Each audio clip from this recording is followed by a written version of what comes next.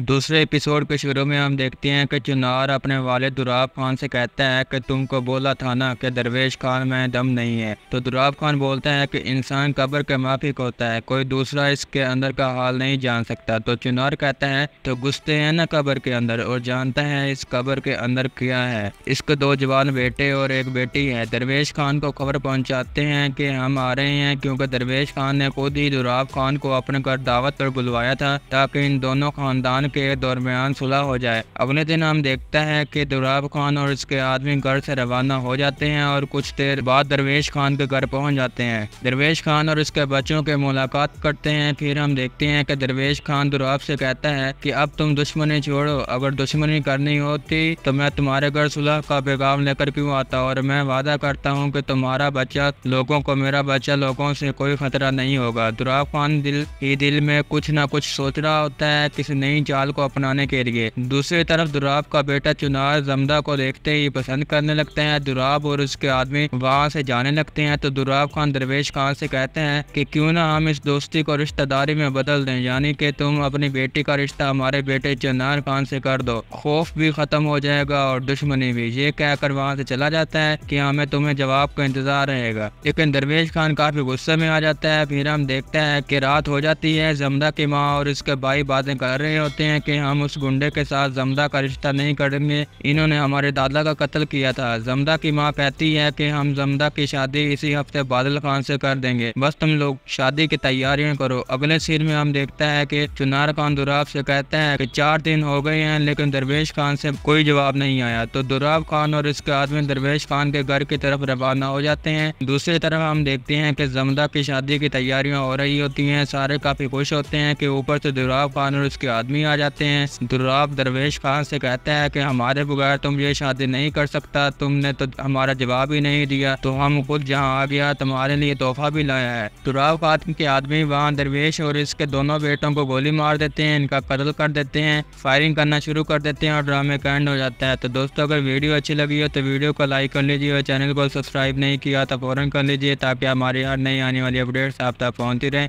इन अगली वीडियो में मुलाकात होगी। अपना ख्याल रखिए। अल्लाह हाफिज़।